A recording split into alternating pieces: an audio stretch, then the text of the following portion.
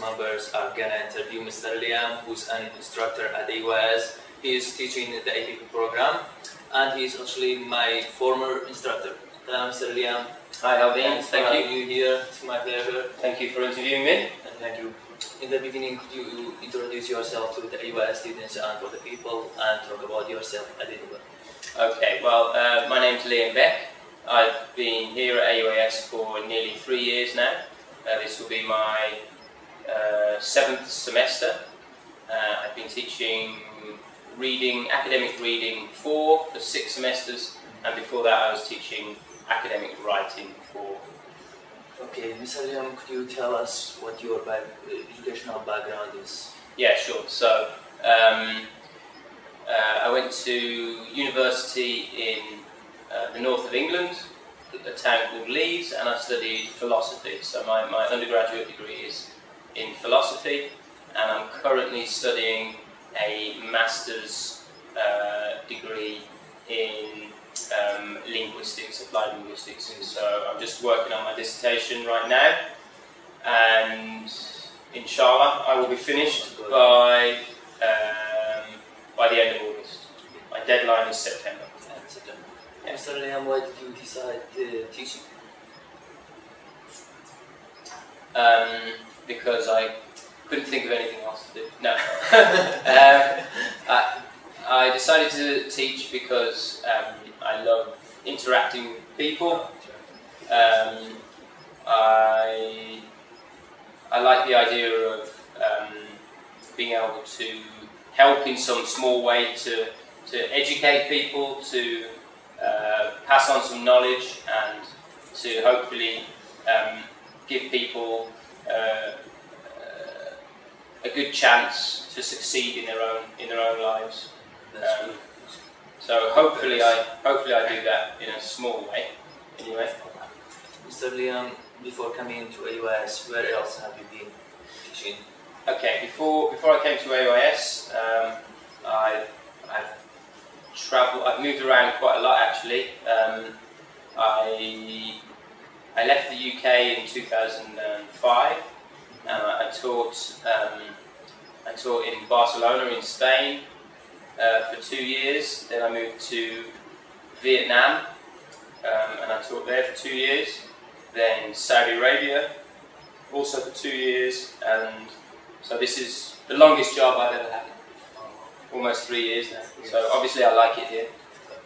Seems you like here. I do, yeah, yeah, it's great. How did you find AUS? How did you know that there is a job opportunity here? Um, I can't actually remember remember now, but uh, I found the job online. I found the job online uh, through um, through a website, but I can't remember which website it was.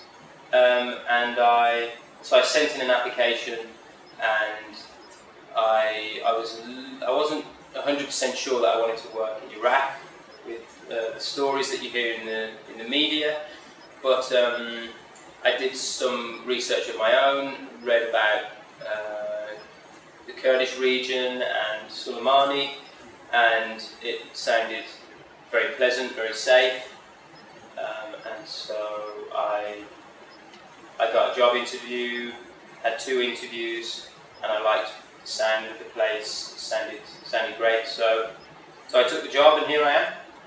Cool. Mr. Liam, I talked with some instructors and they told me that their, their decision about visiting here and teaching here was difficult. Was your decision about visiting here difficult? Um, about coming to work here. Yeah. coming to work and live here. Um, actually, it was not. It wasn't as difficult as I think as I think it is for some people because um, a lot of uh, a lot of instructors, a lot of professors probably come um, direct from the United States. Yeah. Um, and so to go from the United States to Iraq, I think is it's further Yeah. and it's more of a challenge. yeah. Um, whereas I was already in the Middle East, I was already in Saudi Arabia, um, and so for me, it wasn't that far. Um, and although the cultures are very different, they're not Yeah. as they're not as different as say the United States and um, and Iraq. So um, it wasn't that hard a decision, and um, it sounded like the job was great and the university was um, up and coming with a lot of exciting opportunities. So it, it wasn't actually that difficult a decision for me. Mr. Liam, how do you see Iraq? Is it like before coming here? Um, actually, um, um, in some ways, yes, and in other ways, no. Um, there's, um, especially here in Suleimani, it's um, it's much greener. Uh, I wasn't expecting mountains. I wasn't expecting hills. The the image images that a lot of Westerners have of Iraq obviously come from Western media, from American news and British news, um, and a lot of that centres around the violence and the issues that uh, especially uh, happen in the south here. Um, so um, for me, uh, I was pleasantly surprised. I was very pleased when I arrived here when I saw uh, how beautiful the city is and uh, the surrounding countryside. Yeah, and there's lots of good hiking to do, um, and much more, much more activities and much more um, uh, comfortable and relaxed uh, than Saudi Arabia was, for example. Yeah. Mr. Liam, how do you see Iraq? Is it like what you thought about before coming here? Um, actually, um, um, in some ways, yes, and in other ways, no. Um, there's, especially here in Suleimani, it's um, it's much greener. Uh, I wasn't expecting mountains. I wasn't expecting hills. Um, the the image images that a lot of Westerners have of Iraq obviously come from Western media, from um, American news and British news, um, and a lot of that centres around the violence and the issues that uh, especially uh, happen in the south here. Um, so um, for me, uh, I was pleasantly surprised. I was very pleased when I arrived here, when I saw uh, how beautiful the city is and uh, the surrounding countryside. Mountains. Yeah, and there's lots of good hiking to do, um, and much more, much more activities, and much more um, uh, comfortable and relaxed uh, than Saudi Arabia was, for example. Yeah. Let's talk about interacting with students. What are, what kind of students do you like to work with? I mean, what kind of students do you teach more efficiently? Okay, I uh, I get on with most of my students. I think maybe maybe they would disagree with me. I don't know, but um, I I I get on well with um, hard-working students. I get on well with lazy students. Yeah.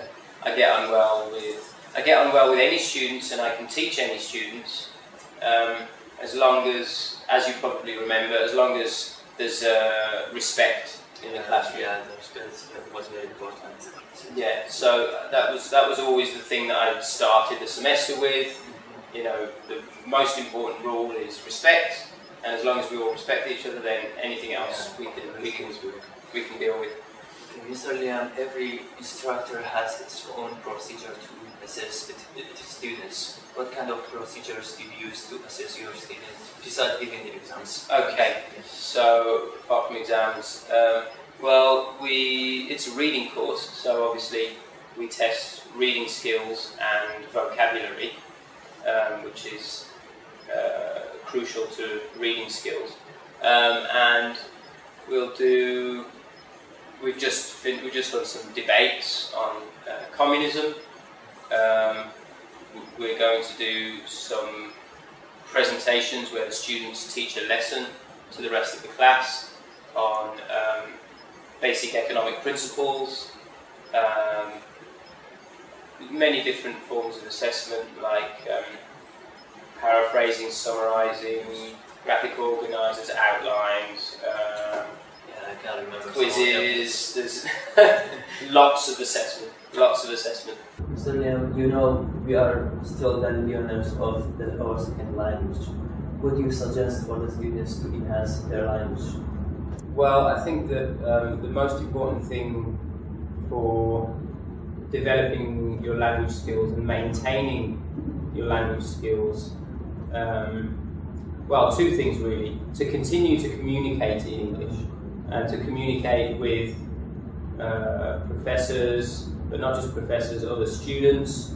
There are enough uh, Arabic speakers and Kurdish speakers here that if students are interacting with each other well, then they they should be using their English quite a lot. So they need to maintain that, continue to use their English, and obviously um, you don't you don't develop your vocabulary, you don't develop your reading skills without reading. So um, students need to continue to read, continue to read in English, and never forget that they're still English learners. Even if they're doing their majors, they're still English students as well. So Liam, what do you expect from AUI students? What do you expect from AUI? Do do you think that these students are going to have a bright future? Yeah, sure. I mean, uh, AUIS students are well regarded um, in Soleimani, in, in Iraq, um, and I think that um, students who take part in everything that we have to offer here at AUI, AUIS, um, from the academic side and also uh, outside clubs and so on. Uh, I think students who really make the most of their opportunity here will will be very successful in in their lives. Um, and uh, I read an interesting fact that students who uh, learn who can speak English that in in the Middle East region actually increase their potential salary by about 10 to 15 percent. So even just learning English will get you a better salary. Um, so I think those students that make the most of it will have a very bright future ahead of them. Mr. Liam, you know there there are some clubs here, and some I know some instructors got involved in some of them. Do you get involved any any of them, uh, or do you do any activity outside of class? Um, very good question. um, I'm currently very busy writing my dissertation uh, for my master's degree, which, uh, like I said, will hopefully be finished uh, this summer. Um, so I have got involved um, with some sports in the past, but the last the last year I haven't really had much time outside of my job and outside of my studies uh, to, to get really involved uh, with any clubs. But uh, hopefully, once I finish my masters, I'll be back in the fall, and then September, October, uh, then I can uh, then I can start to make the most of some of my extra free time that I'll have available to me. Inshallah. Thanks, Mr. Liam, for having me here. It's You're my welcome. pleasure. Thank you very much. It's been my pleasure too. Thank you very much. Thanks, Alvin. You. Thanks.